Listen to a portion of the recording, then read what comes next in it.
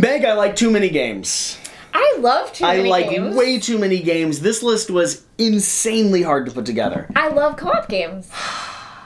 I have a lot of stuff that I feel like I've left off, but that makes an interesting list. We're doing Mm-hmm. our top five co-op games, which makes a top ten list between the two of us, and we've picked Mm-hmm. entirely different categories. This is a co-op video about Yeah. co-op games. That's true. That's true. it's Now, a crossover. the the quick caveats that we both have to put in here, uh, just so they know. Mm-hmm. I left some titles off of this that are cooperative games, but I primarily play solo. okay, that's interesting. I didn't include them because it's not the experience I typically have with them. I think that's a fair call. Okay. Um, and my caveat is, and I'm sure it may be linked or something, but I already did a top 10 of my favorite games of all time Yeah. on Jesse's channel. Uh, and there are a lot of co op games there because co op may be one of my favorite genres. So we're leaving out a few like Gloomhaven, Spirit Island, Arkham Horror, Dead of Winter. Uh, those Two are all our runner three ups. that she likes. Uh, you know, lesser known games, all of them. Here's the other thing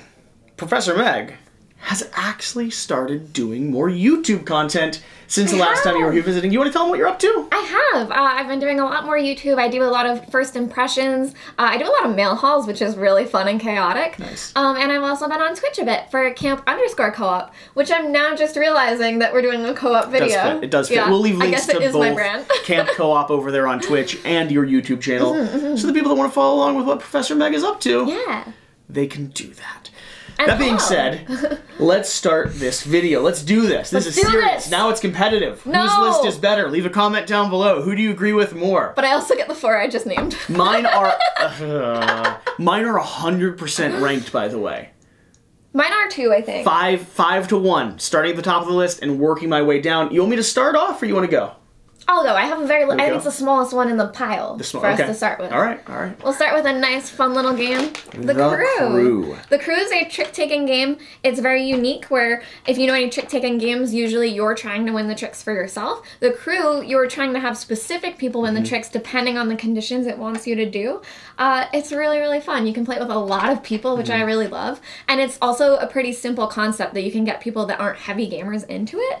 Uh, it's really satisfying. It's, it's one of those. It's one of those trick-taking games that, that does something new in that genre because of the nature of it being a cooperative experience. Your, your puzzle is not stealing cards from other players or tricking them into like having the best hand. You're actually trying to work together strategically to make sure mm-hmm. you accomplish whatever the mission is. And one of the unique things about both of these games, the crew mission at Deep Sea and the original crew, is that they have a ton of different variable objectives and storyline elements you can play through. Mm-hmm. And I also love this one to be able to play with family. Uh, if you're trying to get someone to play games with you, it's a lighter game. Mm-hmm. Something like trick taking is easy for parents and a stuff really to get good the intro concept. game, yeah. it's really great to you know bring to holidays and stuff like that. Nice. All So, right. the crew. Number five for Professor Meg is The Crew. Number five for me is a game that is here, not because I actually think it exists at number five, but because it is new enough, I have not played it enough to move it up the ranks Okay. farther. It deserves a shout out. it's not just a shout out. Oathsworn is right now competing for honestly my top 10 of mm-hmm. all time. Mm-hmm. I probably need about 10 more play sessions of it. I need to get into some of the deeper missions. I need to see if I get completely brutalized at some point, which I already have in episode 1. Awkward. But I am loving what this game is. This is a cooperative adventure. It's it's got some choose your own adventure stuff, but it comes down to the base uh, that you're working with your heroes, upgrading their cards, getting new items and abilities as you play through, and it's a boss battler at the heart of it. So it's got really deep story. Uh, with your personal character's journey, a really immersive world. And if you know me, I love theme and storytelling in games. And then you pair that with these secret boxes that you're opening with these insane beasts and abominations and creatures. And then on top of that, you mix that in with the fact that the mechanics engine in this is so solid. It has this action refresh with the cards that you have in your hand where you're playing them around your board, and depending on the strength of your attack, you have to play other cards into that zone to cycle your hand back down to give you the option to play the card again. It's got a really nice ebb and flow. It feels like it's balanced almost perfectly, if not slightly too difficult and I am loving it. This is number five for me right now, but I believe you will see this on my top 10 of all time later on this year. Now I got to see it So. at Gen Con. I have not been able to play it. I'm very excited to try it out. That's all I keep hearing is how good it is, and I just I really I want to get into it, Jesse. I want to really play good. that one. It's really good. Mm-hmm. Should I swing down to my number four? Sure. All right, my number four. I need to make. I need to make sure I remember which one my number four is. Is paying homage to a game that you will not see on this list, which is Kingdom Death Monster. Ah. Kingdom Death just does not go on lists for me anymore. It's number zero. It's Mm-hmm. like Gloomhaven for Fits. Mm-hmm. into every list you could ever come up with, and I'll find a way to weasel it in. Townsfolk Tussle, though, is here. Another boss battler. This one does not have as much of the story, though. It does have great flavor text and great characterization, but this is going to be a one shot instead of a campaign. You're going to sit down, play through a few bosses, upgrade your hand of cards, upgrade your items and abilities and the character that you're playing with, and continue just having fun in the loony kind of uh, toony world that we have here. It's got a twist, kind of a Cuphead style and aesthetic on the uh, on the uh, approach to gameplay. Mm-hmm. It's got a semi-cooperative element, which I actually tend to ignore because I just like playing through it. But it does have this bit where if you do the most damage or you get the last hit, you end up being able to well, not really the last hit. If you score enough points from your secret objectives, you end up being able to get like body parts and pieces from the thing that you just destroyed, which gives you benefits going on for the rest of the game. All of those benefits work for the same puzzle, which mm-hmm. is defeat the final boss. Mm-hmm. But you will have one person get a sheriff's badge, which means they were the best out at whatever their objectives were, which is fun. Uh, Townsfolk is- Tussle is lovely. It's another one I haven't played, and it's one I've been interested in. I have another one coming up on my list that we won't mention yet. But hearing that it's co-op, but with a top dog, It- that's a Professor Meg's is- style game. It is hundred percent co-op with a top dog. I also still pitch this as the walk into Kingdom Death genre, or even the walk into Oathsworn genre. Mm-hmm. Big box boss battlers really do a good service if you introduce someone to Townsfolk Tussle first. The one caveat I have for those of you that are playing it or thinking that you're going to pick it up, it does tend to run too long if you do all four boss battles, uh, which means my advice is always lean towards doing two or three and just scale up your marketplace and the cards that you have accordingly. All right, next up we have one. I'm a little nervous to tip this up because I know what the inside's like, but I will. Actually, sorry guys, I'm just gonna quickly. There we go. Grabbing the lid off. Stardew Valley. All my Stardew friends, shout out in the comments. Stardew Valley, I actually recently just got to play on Switch on Camp Co-op. Okay. This is a beautiful game. It is a love letter to the video game, which is so Are fun. you a video game fan? Oh yes, absolutely. If anyone knows the video game, I have done everything in it except No. get married and get to the bottom of the mine. No. I didn't want to get married. I did the bottom of the mine. I couldn't get there, but I've done like the whole wizard. I've done. I've unlocked everything else. Literally anything else you could. Do. I did nearly nothing but the bottom of the mine, Mm-hmm. and that still took a solid 60 hours of gameplay to process through. Right now, if you load my video game, I have a ton of stones in my pockets because I'm trying to do that thing where it drops you down. So I have like 99, 99, That's 99. awesome. Um, so the board game is very similar. Have you played the board game, Jesse? Uh, I- yeah, I have played. I've played ish the board Ish. game. I read through the and- rules. Well, I read through the rules and then I set it up and did like a moderate run through, just Mm-hmm. getting the mechanics down. I have not sat down and played like a full session. It is pretty difficult, and if you saw what we did on Camp Co-op, um, anytime that I've played, it is pretty tricky. That you feel like you win maybe in the last round, you might not. I've definitely lost this one. It's I, I really appreciate that it's an adorable game where you have a farm and you are building up resources. You're planting crops. You're also fishing and mining and trying to get all different kinds of things to unlock the community center and make the Junimos so happy. So. It, I love that it's hard. I love that it's very difficult. It's a cute game. It's about farming. It's co-op, but it is very, very difficult. And I think for something like this, it's a little deceptive that it can beat Yeah. you. And I really enjoy that. I like it when co-op games can beat you. I, for the record, since you're visiting more and more, would love to play love this to with play you. this with I would love to play this with Yes. you. Because, like I said, I sat down, I've read through the rulebook, I believe, 2 Mm-hmm. times. I've set up the game on the table in front of me. I've messed with the bits and pieces, Mm-hmm. but never made it through an entire game yet. I think it would be a lot of fun. I think it would be great because it it's not too bad. It we will lose maybe, but at least going turn by turn, it's pretty understandable. Come on. I want the games to beat me. Stardew Valley. You're number 3. Stardew three. Valley. What do you My have? number three is gonna be a little game Just a little game. Called Marvel Just Champions. a tiny game called Marvel Champions. Um, if you know my top 10 with Jesse, I have Sentinels of the Multiverse on there. I do prefer it more. I very much love that game. But Marvel Champions is a new addition to my heart. This is a living card game. So you are constructing your deck based on the cards that you have. You can get new hero packs to get more cards to construct new decks. Um, and they're constantly coming out with stuff for Marvel. As a huge Marvel fan, Yep. to be able to play as Vision and Scarlet Witch and all of those, there's now a Spider Ham available. We just got that pack in. Oh, it's so cute. I'm so excited about all of these. Um, it's a really, it's really well done. I think it is very similar to Sentinels of the Multiverse, Yep. but you're able to deck build, which goes back to like my TCG roots. I really love deck building and being able to make choices. And I like that sometimes how you have to change your deck to be able to move forward through the scenarios. Um, there are some where certain decks are better, uh, and you just you have to make those decisions, or else you won't be able to win. This is one that was left off of my list because I play it solo. Oh, I thought you were gonna say because you knew I'd pick it. No, no, no, no, no. I, I, I absolutely love Marvel Champions. Mm-hmm. I have everything. It's deluxified in wooden boxes immediately over there. They're sleeved in Dragon Shield cards. I'm fancy. So good. However, I don't sleeved. I don't play this very often cooperatively. I love it cooperatively, Mm-hmm. but Sheer is not a big fan of it. Alex is a busy man, uh, and so I this is one of the ones that like if it's 2 a.m. on a night and I'm feeling a good board game, I'll sit down and play on my own with like a bourbon next to me and then crash afterwards. When you do, text me next time. Yeah? Like, hey, I just played Marvel Champions. Let me know how Great, you did. At great. least that way you're playing a solo game, but you can let me know you. I lose almost every time. Oh, well, if you need encouragement. Not the best. Not the best. I, I can build a I can build one hell of a rocket deck though.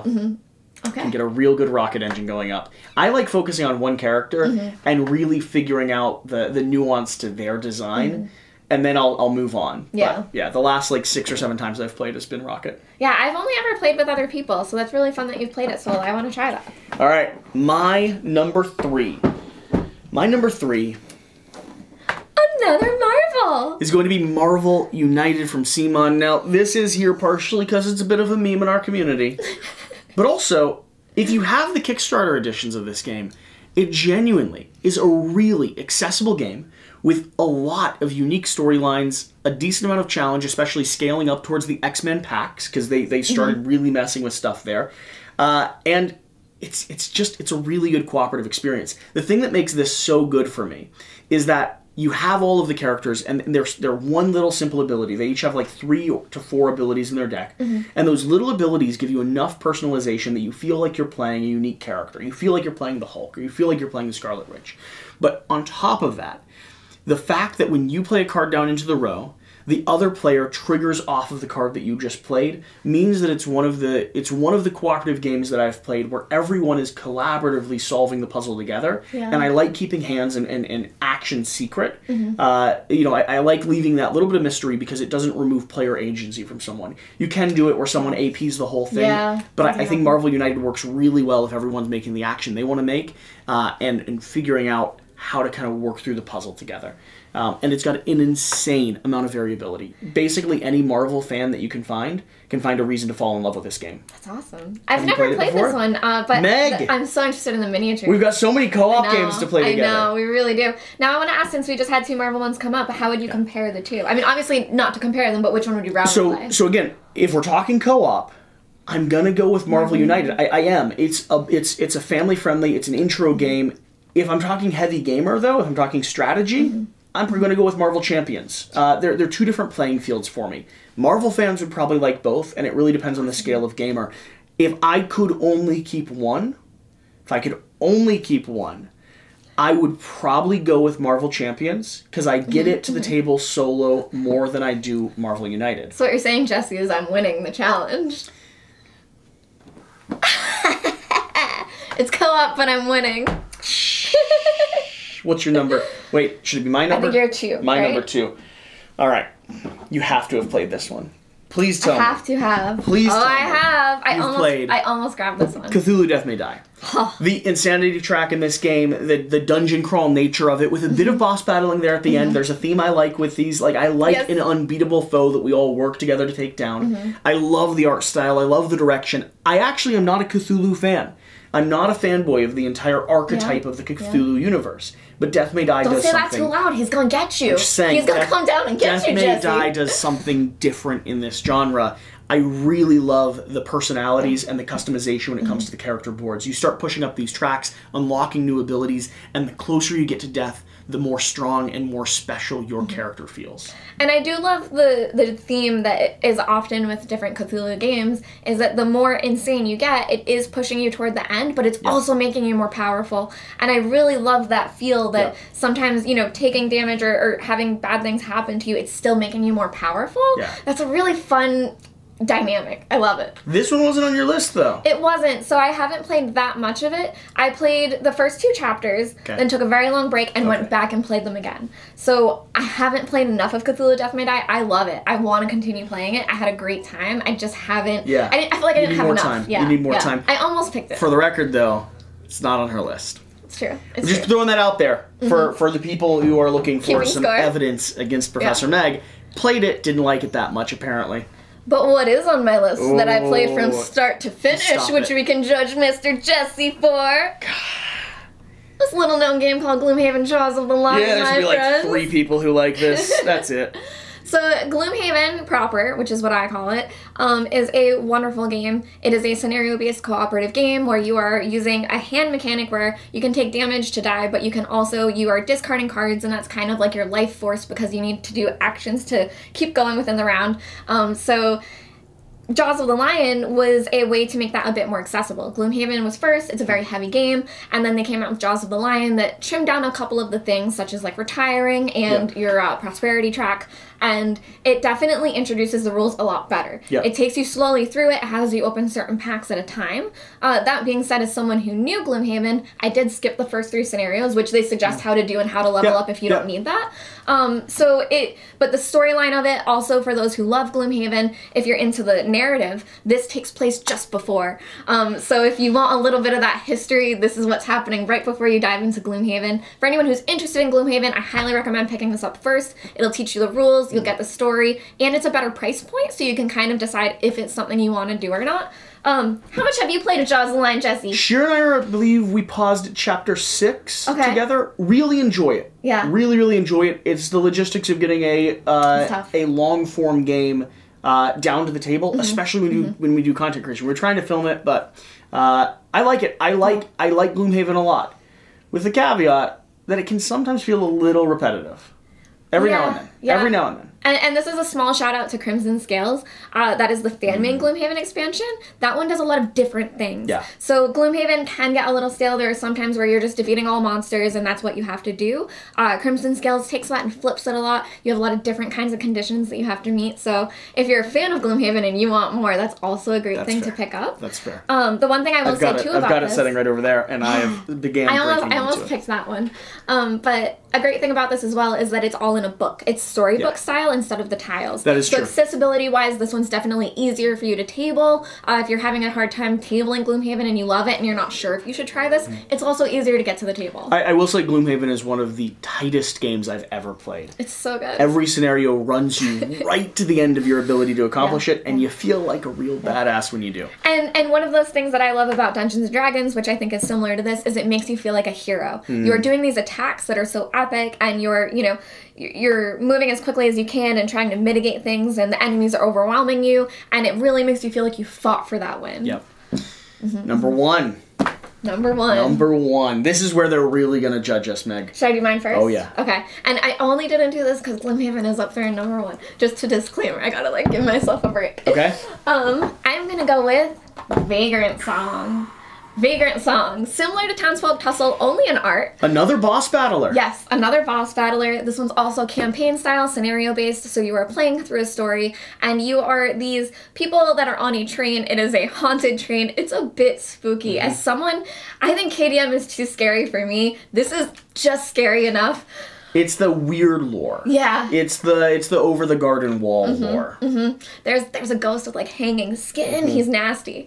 Um, but you are trying to restore humanity to the Haints on the train. So you're going train car by train car in the story, and you are you're attacking them, but you're actually trying to restore their humanity so they can be released from the train. Which I really like that mechanic as well. I feel like it takes a, a dungeon crawler and, and battling on its head, and instead you are doing kind things. You're trying to help them. You're supporting everyone else along the way. Um, and I really like the action selection system where you get three tokens that you get to do for each of your actions. You can pile them all up on one to make it more powerful, or you can spread them out. But once you do it, when you go to do your next actions, you can't use those again. So it's kind of that puzzle of what you need to be doing at a certain time. This one honestly should be on my list. It's so good. It was sitting over in the corner of the room Mm-hmm. when you came up and you said, "Hey, I just need one. I need one game from Yeah, you. yeah. Do you have Vagrant Song around here?" And I went, "Great. Okay, I don't need to talk about it. I, it doesn't need to figure out where it fits in. I already have added context. If I was gonna really, really shoestring my list into into what it should possibly be, Mm-hmm. Marvel United might bump for Vagrant Song. Yeah, if I'm gonna have a real conversation about it, if I'm Yeah. really gonna look at it, I love this game. Mm-hmm. Nearly through playing through the campaign, we're gonna be doing a dedicated review over on Quackalope. But spoiler alert: there's I got a few I've got a few ca- I've got a few complaints, but there's so much good happening here, and the way that it does emergent storytelling through the course of a boss battler, it feels like a dungeon crawl in a lot of ways. Mm-hmm. And one of the other things I'll say that I love about it, a Professor Meg thing, is the components. Um, so it's acrylic standees instead, which is so great for this art to be Yeah. showing it. And even your health trackers and different things, the humanity tracker on the board, Yep. are these flat heart gems. They're so beautiful. And there's also a little bindle that you're pulling tokens out of, and it's a plaid like hobo bindle. It's just it's really well done. It's it's not too many components. They're pretty simple, but all of them are really well done. yeah. This is a great one. It is. My number one. My number one. What could it be, Jesse? Ah, never played this. We have so many cooperative We're gonna play it to tonight. Meg! Meg! I know. Lay it on me. This is Unsettled. I've heard of, I've I've heard many a thing, Okay. lay it on me, Jesse. Unsettled is coming from ONEB, Orange Nebula. It is a masterpiece of a cooperative puzzle game. You take these modules, and so you have like the base the base game comes with two modules, two planets, and then your spaceport. So all the resources you need and your different characters. Each character has their own set of like action selection places. It's a dice placement game, but the dice mm-hmm. don't get rolled. They actually just tick down to count your resources, Okay. and you're taking actions on the board. The unique thing about Unsettled is that it, it, it comes in planet systems. And every planet system, if you think of weird sci fi, has its own unique twist. I've explored the rotting carapace of a giant space alien head with like mites that live inside and try to like consume you. I've explored underwater planets where all it is is pearls and luminescent beauty. Ooh. I've explored planets where the ecosystem is so perfectly balanced by a sentient being mm-hmm. that as you land, you're charged with not disturbing what just happened. And if you do, everything starts falling apart. And alone from what you're saying, it sounds so immersive that you're not saying there are planets you explore that are like this. You're saying I've explored planets like this. I've done this. Yeah. I love when games Unsettled do that. sets you into this system where the game is the same, but the puzzle is different.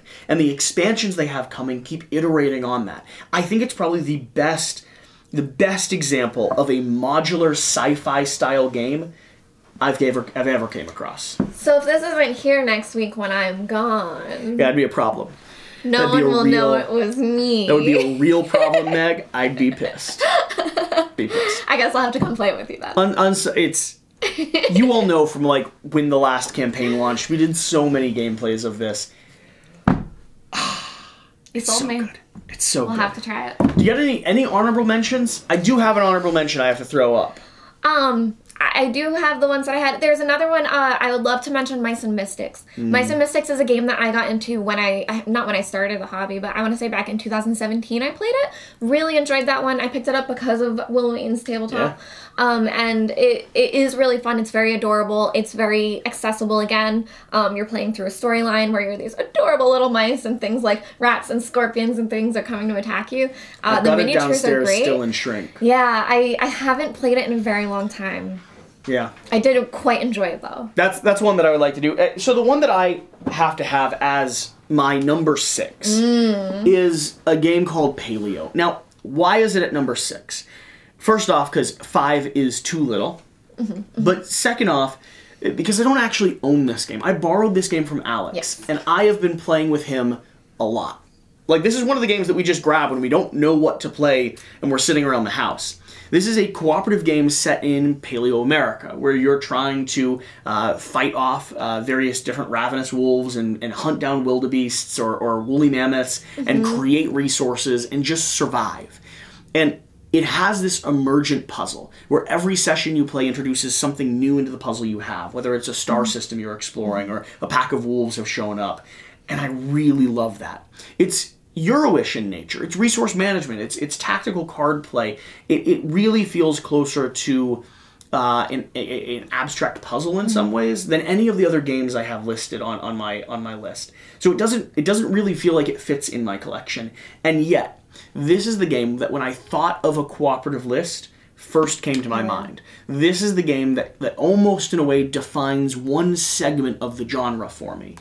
And it's the game that has been on my list for probably the longest time so far of oh I need to I need to buy that. I need to grab that one day. There's an expansion I believe that's either coming out or came out and it's it's just you know how you have holes on your shelf and you know what fits there and you just haven't bothered filling it yet because you have access to it and you play it and mm-hmm. life is complicated.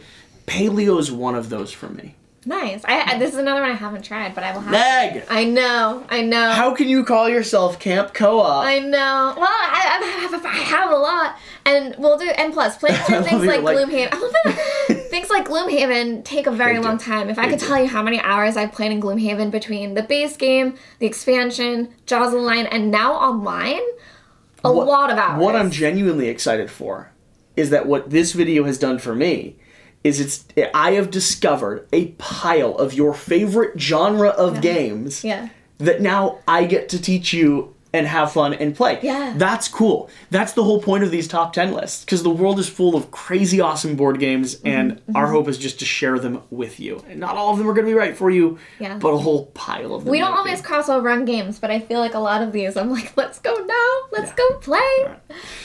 Thank you for watching. Thank you for being here. Make sure you go swing over and check out both Camp Co-op over on Twitch and Professor Meg here on YouTube. Hit the subscribe button, do the follow button with your Amazon Prime rewards. Like down below. Like, five, Leave a uh, comment. Who won the co-op challenge? Don't leave that comment. I, we all already know the answer. It was clearly me, and I don't want Professor Meg to feel bad and not agree to come hang out with me again.